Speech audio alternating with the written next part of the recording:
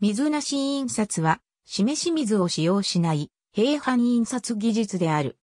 使用する犯罪に特徴があり、これを水なし平板と呼び、陰気反発性物質であるシリコーンゴムを全面に塗布した PS 版の一種である。現像工程で画像部のシリコーンゴムを除去することにより画像部に陰気がつき残留したシリコーンゴム部分は陰気を弾くことで示し水なしでも印刷できる。従来の印刷方式を水なし印刷に対して水あり、印刷と呼称するが、この水とは示し水のことを指し、水が油を弾く性質を利用して、油成分である印刷陰気がつかない非画像部を作り出している。このため水の表面張力を下げる必要があり、アルコール類などの様々な溶剤を添加している。この示し水を一切使用しない水なし印刷方式は優れた環境特性があることで知られているが、このほか高品質な印刷、印刷時の生産性向上などによるコスト削減などの特徴もある。基本的にはオフセット印刷方式で印刷されるが、直刷りで印刷される場合もある。PS 版は基板にあらかじめ観光性樹脂を塗布してある平板印刷用の犯罪である。平板には正反用フィルムを密着させて紫外線で露光することにより観光性樹脂が化学変化して画像を形成するアナログ版とコンピュータ上で作成されたデータを正反フィルムを介さず、犯罪に直接レーザーを照射して画像を形成する CTP 版がある。水なし平板も基板にあらかじめ観光性樹脂が塗布されており、この意味では PS 版の一種である。しかしながら一般的には浸水化処理をしたアルミニウム表面に示し水を付着させて陰気を反発する平犯罪が PS 版と呼ばれ、示し水を使用せずに印刷する犯罪は PS 版とは区別して水なし版と呼ばれている。水なし平板での印刷を水なし印刷という。突版犯罪を使用し、示し水を使用せずにオフセット印刷する場合はドライオフセット印刷と呼ばれているが、平板を用いる水なし印刷とは別物である。平板オフセット印刷で示し水なしで印刷できる犯罪を言う。水なし平板には PS 版と同様にアナログ版のポジ型、ネガ型及び CTP 版がある。いずれも陰気反発性物質としてシリコーンゴムで非画像部を形成している。現在、東レ株式会社及びプレステック社の2社が水なし平板を製造販売しているが、両社とも陰気反発性物質としてシリコーンゴムを使用している。印刷用の陰気は水なし印刷専用陰気を通常は使用する。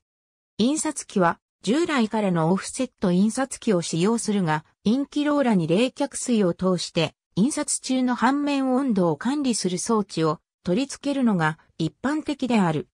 水なし平板の基板は高純度アルミニウムを使用しており、使用済みの板は PS 板と同様にリサイクル資源として活用されている。静的モデル時印刷での陰気反発性実際に印刷での陰気反発性を評価すると、濡れ理論では表面張力の小さい PTFE がジメチルシロキ酸よりの有利であるが、実印刷の陰気反発性では大きく劣ることから、WBFL 理論がより実印刷の陰気反発性に近いことが証明された。ポリジメチルシロキ酸は陰気溶剤の主成分である炭化水素の防潤率が400%程度あり、表面での白膜形成が可能であるが、PTFE は炭化水素で防潤せず、白膜は形成できないことが影響している。この結果により、水なし平板の陰気反発性材料としてジメチルシロキ酸が不動のもとなった。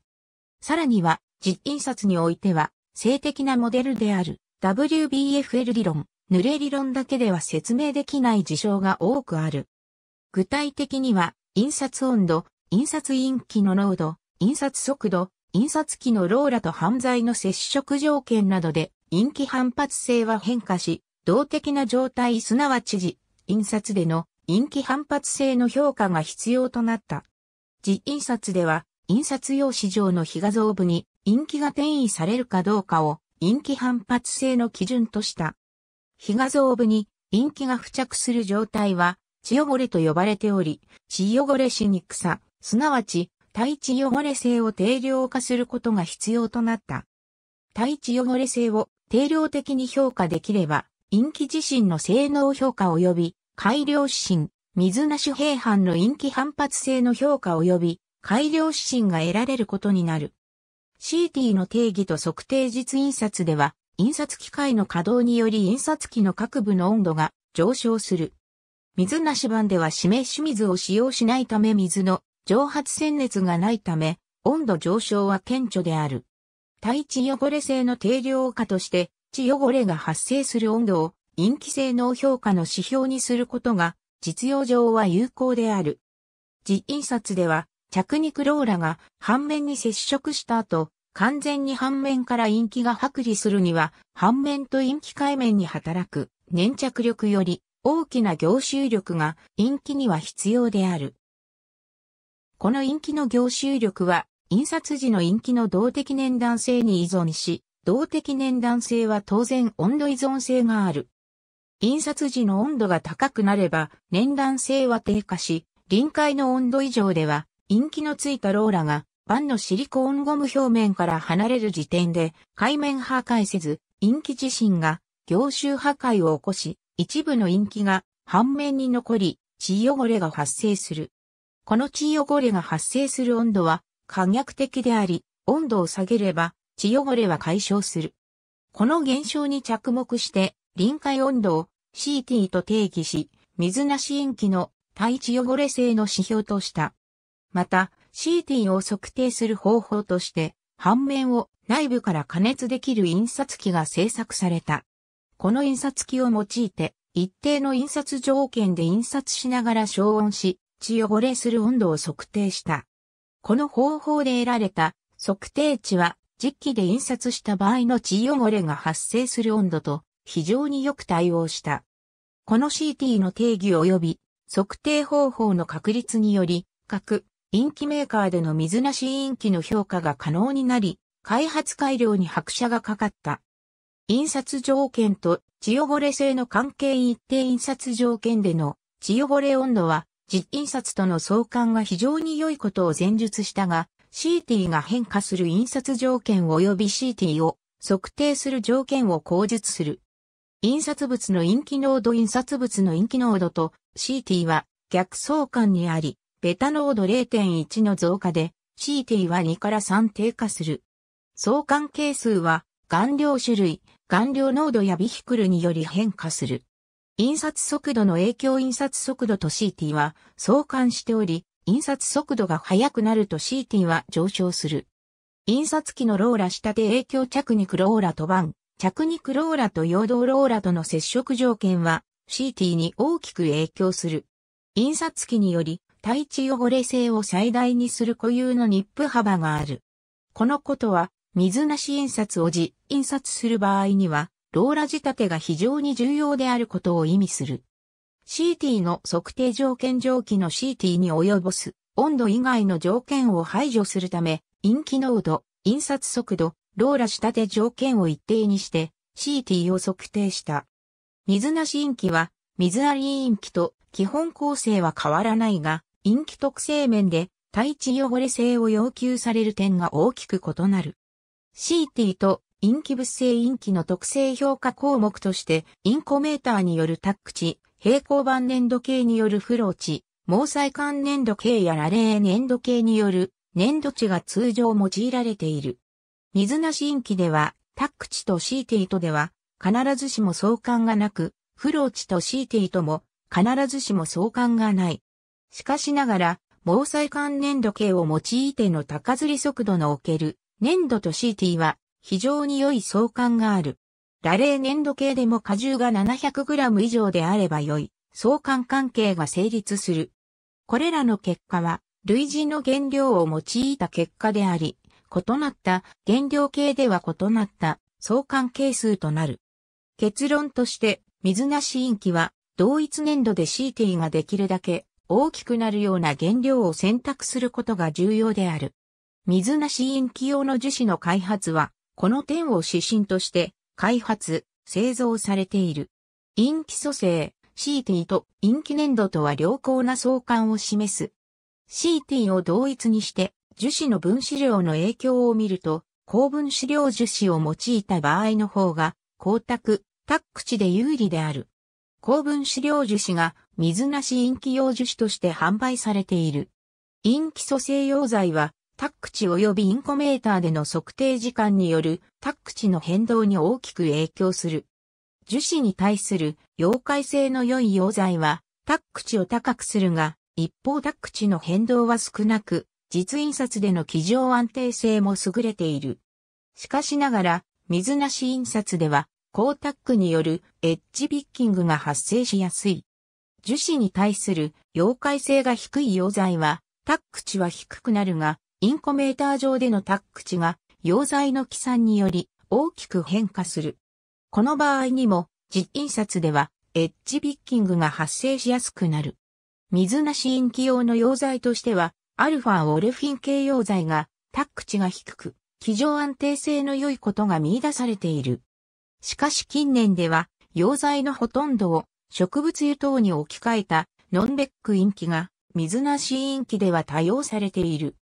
このノンベックインキにおいては、植物油が樹脂を溶解しており、溶解性のバランスがインキの特性を左右している。水なしインキ組成の最適化水なしインキには CT が高く、光沢性、着肉性に優れ、エッジピック等の印刷障害のない特性が求められる。そのためには樹脂の分子量をできるだけ大きくし、完成油成分を増すことが指針となる。高分子量樹脂により、インキがローラと板間で分裂するときの破断力が大きくなって CT が高くなり、分裂時のインキの身長も短くなり、印刷後の用紙上でのレベリングが早く完了する。完成油成分は、印刷後のインキの流動性に寄与し、レベリングを促進する。UV 印刷では、レベリング時間が不足し、光沢不足が指摘されている。光沢は、インキ表面の十数ミューの凹凸と相関しており、この凹凸は、インキの破断時に生成されている。破断時のインキの糸引きを少なくすることにより、レベリングに必要な時間が短縮される。光沢値が上昇する。初期段階平板オフセット印刷は、印刷時に示し水を必須とし、これに起因する問題から解放されていない。問題点は、1インキと示し水のバランス調整、2インキの入荷による品質変化、3水による印刷用紙のカールなどである。これらの問題解決のため、犯罪、インキ、示し水など、材料の面からの対策や印刷条件のコントロールなどの施策が行われてきている。陰気を反発する部分を水以外の材料で形成しようとする研究は1960年代からあり、1965年、HG ギッペはシリコーンゴムを用いる方法を特許出願し、日本では1969年に特記宮城44から23042として広告された。同じ頃、米 3M 社、ジェールカーティンも同様の発明をした。水の代わりに非画像部を形成し、陰気を反発する材料で犯罪を構成しようとするのが水なし平板の大方の生き方である。物の表面が濡れるという現象は、固体の表面張力が液体のそれより大きい場合に起こる。撥水、バチ油あるいは理系に効果のある材料としてフッ素系やシリコーン系が一般的であり、臨界表面張力、ガンマ C が小さいことが、このように作用する理由の一つである。1960年代後半以降、水なし平板に関する多数の特許出願があったが、陰気反発性成分は、フッ素系とシリコーン系に限られている。中でもギペが出願したシリコーンゴムを用いたものが優れていた。印刷犯罪とするには、高い解像性で画像が形成できることと多数枚の印刷物を作るのに十分な耐久性が必要である。最も重要な画像形成性には多くの方法が提案された。代表的なものはシリコーンゴム1層、タイプ、シリコーンゴム仮層2層、タイプ、シリコーンゴム上層2層タイプである。は、画像形成性のある観光性シリコーンゴムを用いるもので構成は最も単純であるが、一つの層が画像形成能と陰気反発性の機能を兼備しなければならない。シリコーンゴムに観光性を付与することと陰気反発性を高いレベルに保持するなどの所得性が相反する方向であり、満足するものを得るのは困難度が高く、具体例はない。陰気反発性シリコーンゴム層の上に画像を形成する構造は、画像形成は容易であるが、画像部の接着保持性に最大の難点がある。一方、画像形成の観光層の上にシリコーンゴム層を設けるでは、観光層の助けでシリコーンゴムの画像を形成し、純粋なシリコーンゴム層が陰気反発性を受け持つので合理的である。スコットペーパー社はのタイプで開発したが、実用レベルの対すり力が得られず断念した。3M 社はのタイプの犯罪を開発し、1972年、ドルピ72で水な紙幣犯罪、ドリアグロフィを展示し、市場テストに入っていることを発表し、多くの注目を集めた。画像録音すると可用化する観光層を用い、露光部の観光層を現像液で溶出すると同時に、上層のシリコーンゴム層をブラシで擦り取る方法で画像部形成を行う、ネガ型の犯罪であった。しかしながら、3M 社は数年にわたる市場テストの後、1978年2月に開発を断念すると発表した。犯罪品質のばらつき、製造コスト高、十分な性能の陰気の開発ができなかったことなどが主な理由になっている。東レは1970年代前半から独自の基礎研究を開始し、光接着機構による画像形成法を見出し、シリコーンゴム層のみを除去するポジ型犯罪を開発し、1979年から販売を開始した。その後、1983年にネガ型水な紙幣犯罪をラインアップし、1999年からは水なし CTP 版を市場供給している。実用段階アナログ版ポジ型 3M 社、ドリアグロフト、トーレ TAP 版はタイプのシリコーンゴム上層2層構成であるが、前者は露光部が画像部になるネガ型であったが、後者は露光部が非画像部、陰気反発部となるポジ型である点で異なる。さらに、前者では、平応になる画像部が2層分の深度になるのに対し、後者では、シリコーンゴム層の厚さだけであり、印刷プロセスで有利に採用する。トーレ TAP 版の基本構成は、基板、観光層、シリコーンゴム層、カバーフィルムの4層構造である。カバーフィルムを付けたまま正反用ポジフィルムを反面に真空密着させ、PS 版と同様に露光すると、露光部の観光層が光10号、過強反応すると同時に、上層のシリコーンゴム層を接着固定する。カバーフィルムを剥離して、反面を現像液で処理すると、シリコーンゴム層が防潤し、ミロコーブのシリコーンゴム層のみが剥離するので、これをブラシでこすり取ってサッンを作る。観光層は単体ポリマー、光重合性モノマー及び光重合開始剤などからなり、光重合性モノマーとシリコーンゴム層を可強させる成分との組み合わせが光接着力発現の重要な鍵になっている。光重合性モノマーとシリコーンゴム化強剤の活性器と反応する水酸元を有する場合に最も良好な結果が得られる。光接着の気候観光層上にシリコーンゴム層を形成する工程での反応、現像工程で露光部と広光部との両層間の接着力の差を利用し、接着力の弱い部分の海面に現像液が作用し、ブラシのすり力を受けてシリコーンゴム層のみが除去される。露光の操作で光接着効果が生じ、シリコーンゴム層が反面上に残り、非画像部を形成するので、ポジ型の犯罪となる。両層海面での光重合のみが接着力の増大に寄与し、観光層内部の重合は直接関与しない。露光はシリコーンゴム層側から行われるので、高強度が最大である両層海面付近で光重合速度が最大となるので、観光層全体の重合率があまり大きくならない初期の段階で接着力が急速に増大し、ほぼ飽和に達する。観光層全体を光不要化する必要はないので、高感度が得られる。観光層下部まで露光する必要性はなく、基盤面からのハレーションの影響のない段階で露光を止めることができ、高解像力を得ることができる。アナログ版ネガ型通れ単板の構成及び製版プロセスは外観的には TAP 版と同様であるが、各層の組成物や画像形成の機構は当然異なる。2.4一項に示した3つの代表的な水なし平板の構成で露光部が画像部となるネガ型犯罪を作成することはどのタイプでも可能である。セルの深さはできるだけ浅い方が印刷適正の面から好ましく TAP 版はシリコーンゴム層の厚み分だけの深さになるように設計されている。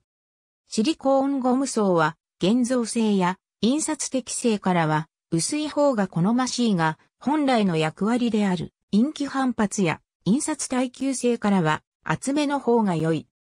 したがって画像部の観光層を現像時溶出させることなく前述の条件を満足する厚さのシリコーンゴム層のみを除去して画像部を作ることが、ネガ型犯罪開発の重要なポイントであった。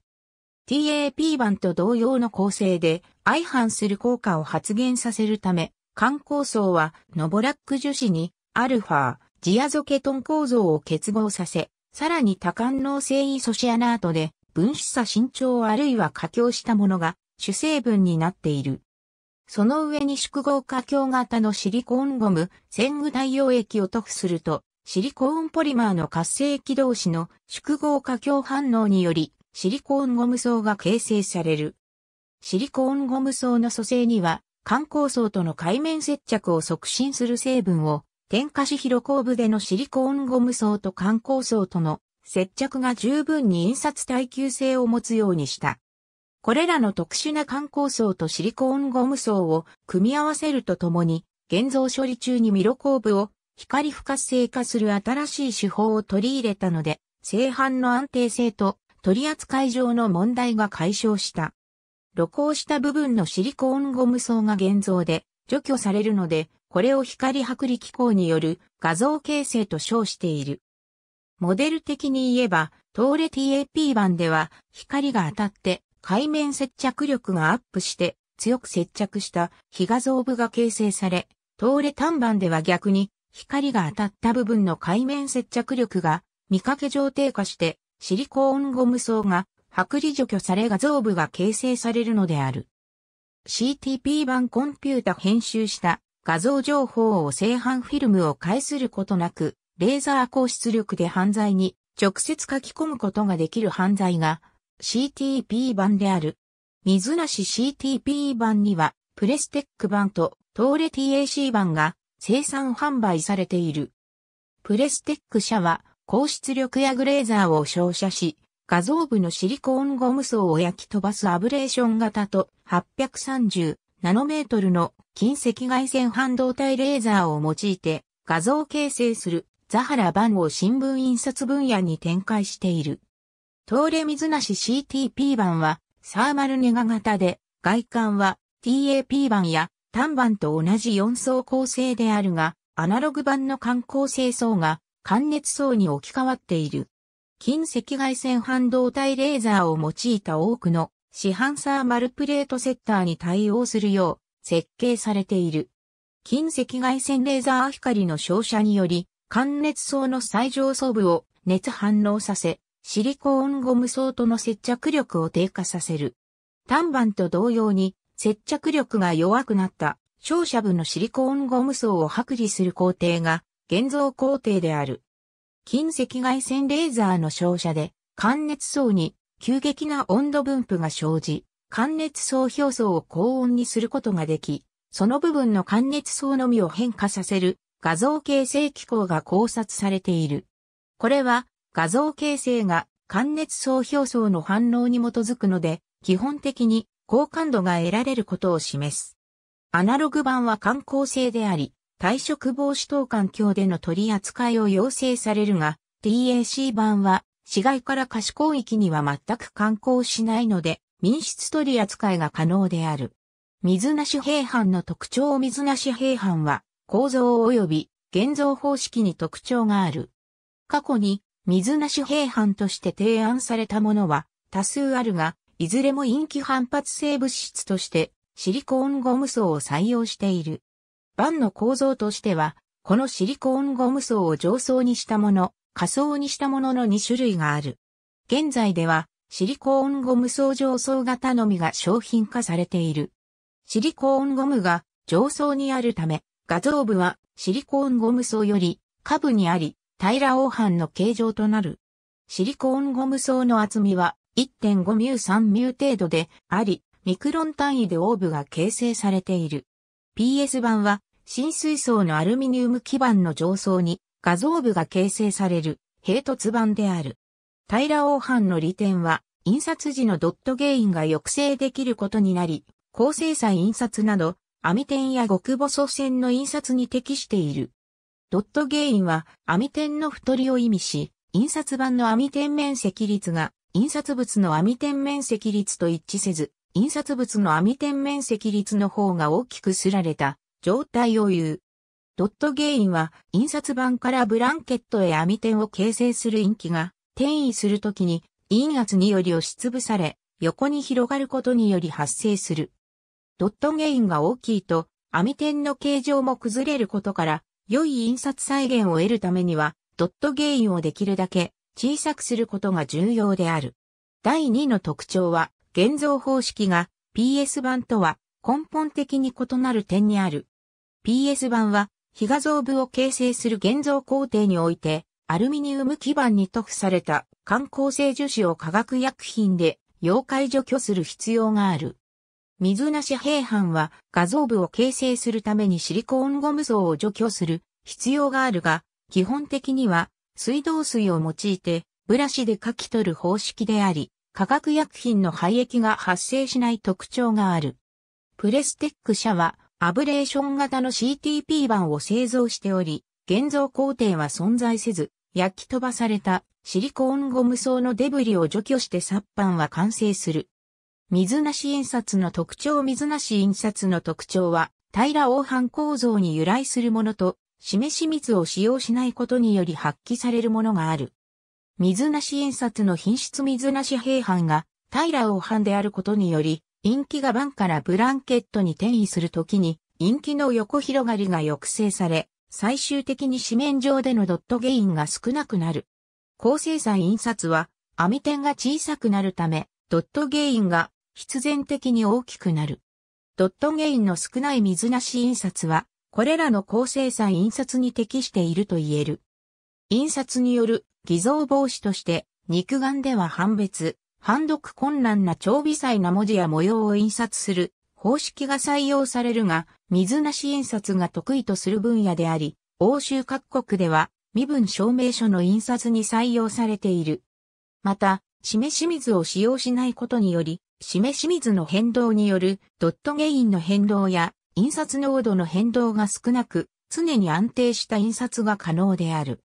示し水は印刷中に陰気中に取り込まれ、入荷状態になることにより、印刷の網点や文字に滲みを生むことになるが、水なし印刷では、滲みのない網点や文字が再現できる。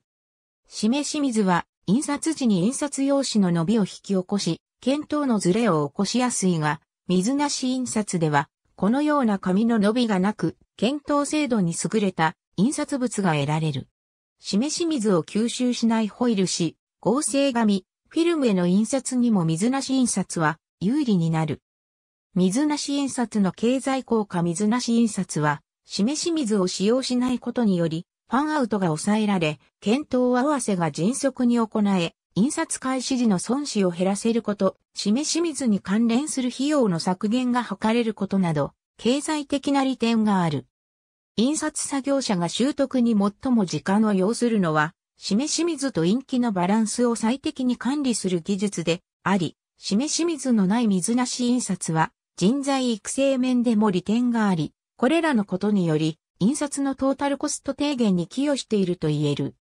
しかしながら、水なし印刷では、陰気の粘度が高いことにより、印刷機のローラ上での横広がりが少ないため、ゴーストが発生しやすい。陰気の粘度の高さは、UV 印刷時のように、レベリング時間を十分確保できない場合には、光沢不足となる原因となっている。水なし陰気の破断時の糸引きの長さも、ベタ部分の着肉性を落とす原因ともなっている。網天部は陰気の糸引きが網点周辺の非画像部により陰気の破断が促進されるため、ドットゲインの少なさと相まって着肉性及び網点形状は良好である。また、非画像部がシリコーンゴムで形成されているため、非画像部がアルミニウムの水あり板よりは傷がつきやすく、取り扱いには注意が必要である。陰気反発層を形成するシリコーンゴムは摩擦に対しては一定の強度しかないため、紙粉の非常の多い印刷用紙においては耐すり力が不足する場合がある。その他、材料価格が水割り、印刷用に比べて平均的に高い。印刷機を冷却するためのチラーは、水あり、印刷でも印刷の安定化には有効であるが、水なし印刷では、示し水の蒸発鮮熱の冷却効果がない分だけ、冷却能力の大きなチラーが必要となる。また、印刷室の温度により左右されるものの、水あり、印刷に比べ、同じ冷却能力のチラーであっても、電気使用量は高くなる傾向にある。水なし印刷の環境優位性別項に記述水あり、印刷で印刷されている、ほぼすべての分野が、水なし印刷で対応できている。しかしながら、水なし印刷に必要な専用インキが供給できない場合や地域では、限定的な用途に限られているのが現状である。また、印刷機については、一般的には専用の印刷機は必要なく、通常の印刷機で印刷可能で、兼用も可能である。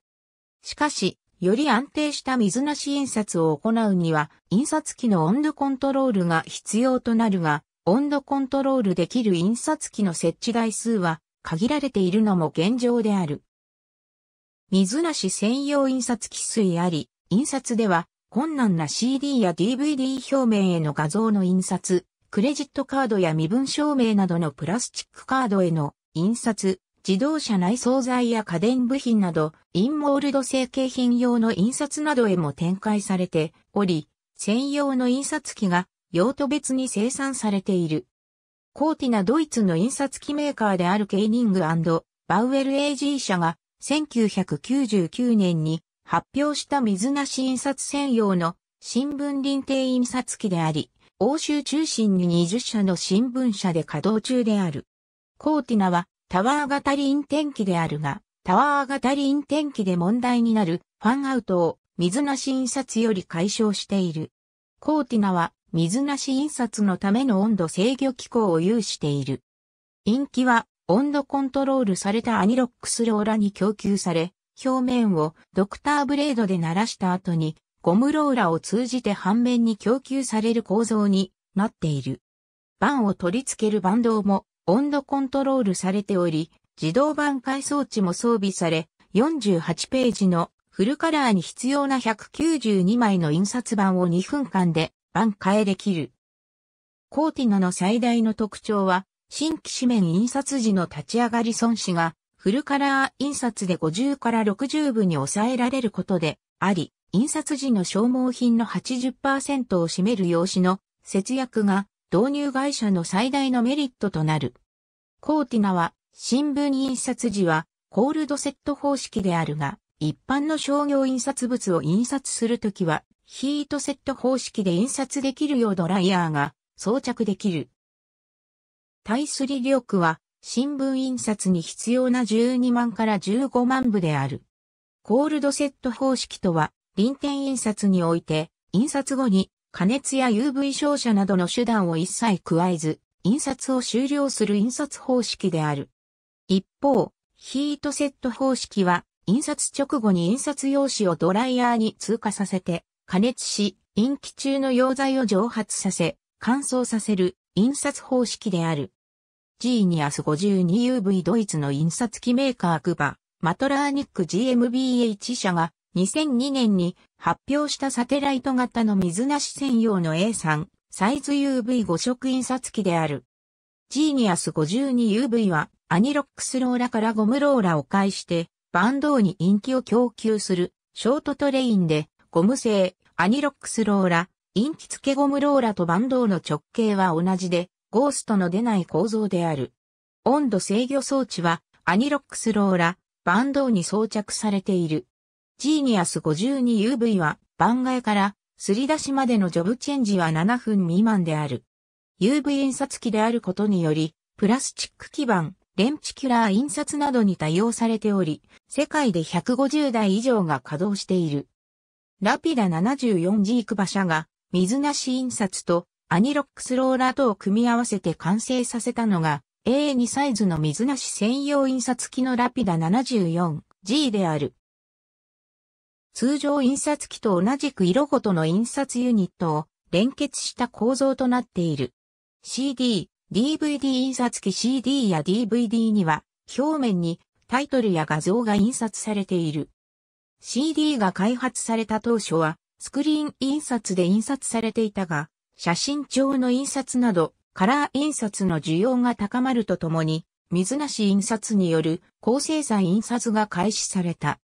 1992年に日本文化成功株式会社、大日本人気株式会社、東レが共同で水なし専用の4色印刷機を完成させた。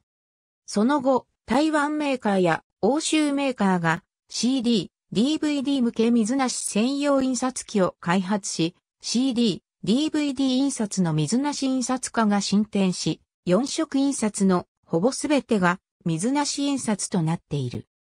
機上製版印刷機 DI イコール digital imaging 機 CTP 版が普及する以前から印刷機上でデジタル製版して印刷をする水なし専用機が多数開発された。この機上製版印刷機は露光前の生版を版胴に巻き付けた後に露光して画像を形成するものである。2001年にはハイデルベルグプリンティングマシーンズ社が GTODI 機を発表した。GTODI 機は、プレステック社の画像部のシリコーンゴム層を放電破壊で画像を形成できる犯罪を利用したものである。2005年には GTODI 機を進化させ、クマディ機を発表した。クマディ機は、レステック社のアブレーション型水なし CTP 版を使用した機上製版印刷機であり、レーザー露光した時に発生するシリコーンゴムのデブリは簡単に拭き取ることができる実質的に無限像 CTP 版であった。その後、プレステック社のアブレーション型 CTP 版を使用した機上製版印刷機は、クバプラネタ社のカラット機や、両備株式会社の両備 3404DI 機などに引き継がれた。各社の印刷機に犯罪を供給してきたプレステック社も自社ブランドの機上製版印刷機を販売している。殺版作成通れ水なし CTP 版はサーマル型の犯罪であり、通常使われる830ナノメートルの近赤外線レーザーを光源とする CTP ゼッターを使用して露光する。露光後は、通れ水なし版専用の現像機で現像し殺版とする。プレステック版はアブレーション型であり、通常のサーマル版よりは高出力のレーザーが必要である。現在使用されているのは、高出力の830ナノメートルの赤外線レーザー及び1064ナノメートルのヤグレーザーである。アブレーション型であるため、アブレーションしたデブリを洗い流すための洗浄機を通すことにより、サッパンが完成する。インキ、水なし印刷専用インキは、水あり、印刷用インキと同じく、各種用と別に生産されている。水なし印刷を採用している国も多岐にわたるため、各国ごとにローカルインキメーカーが多数存在する。印刷用途によっては、水あり用インキで血汚れを起こさず印刷できる分野もある。金、銀インキや金属印刷向けインキは、その代表的な例である。印刷機水なし印刷では、示し水の蒸発による印刷機の冷却効果がないため、印刷により印刷機温度が上昇する。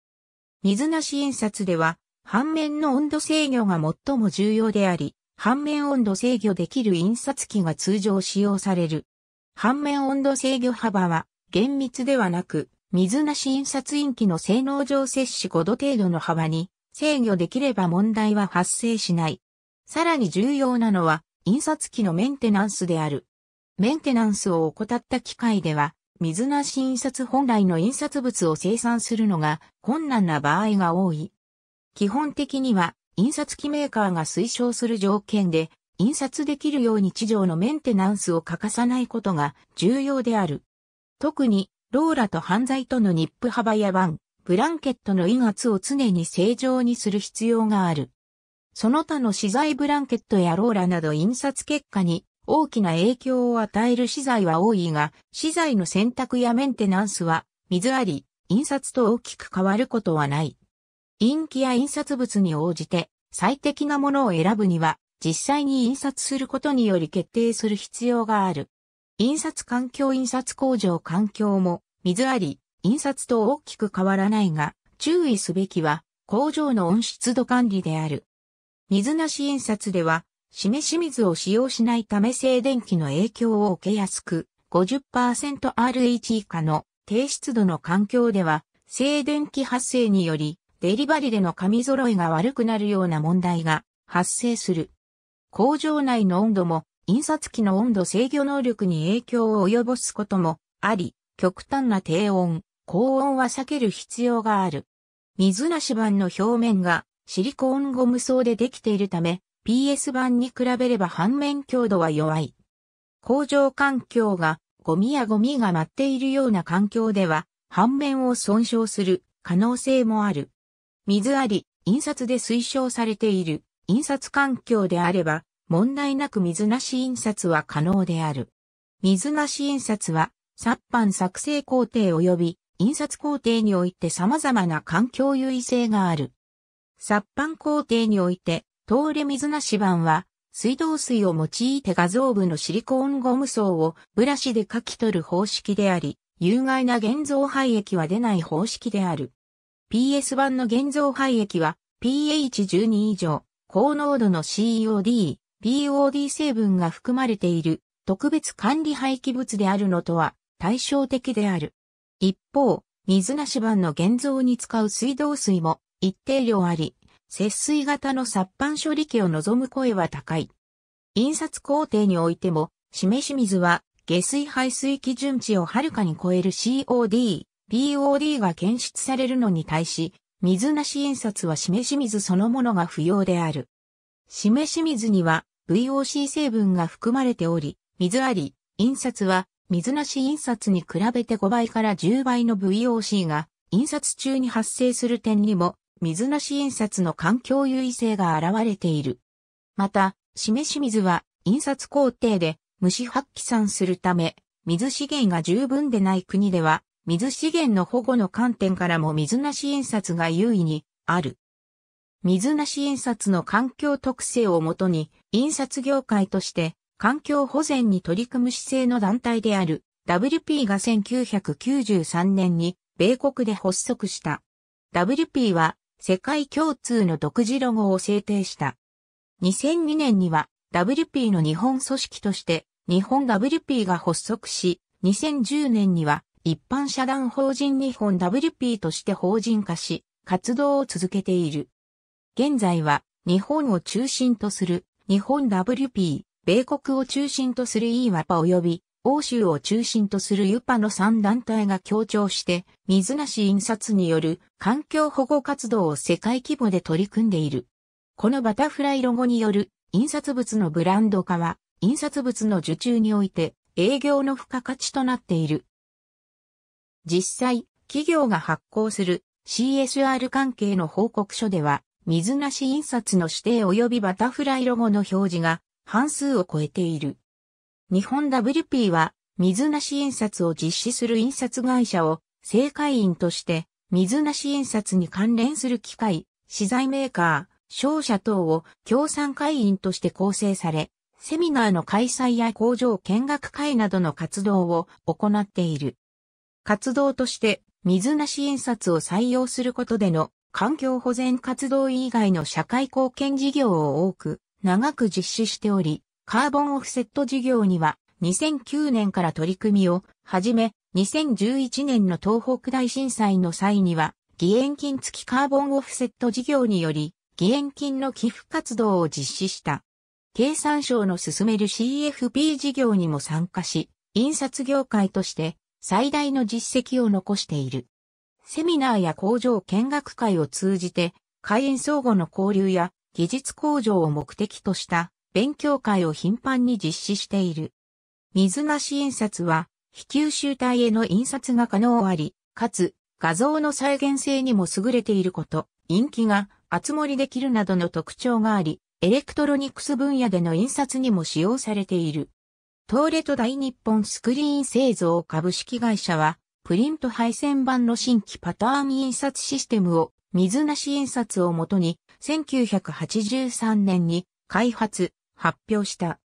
犯罪はアルミニウム基板に昭和 A コード70から75の男性ゴム層を積層し、その上に画像形成管構層とシリコーンゴム層を重ね、最上層に露光時のネガフィルムの密着性を付与したポリマー層で構成されたものである。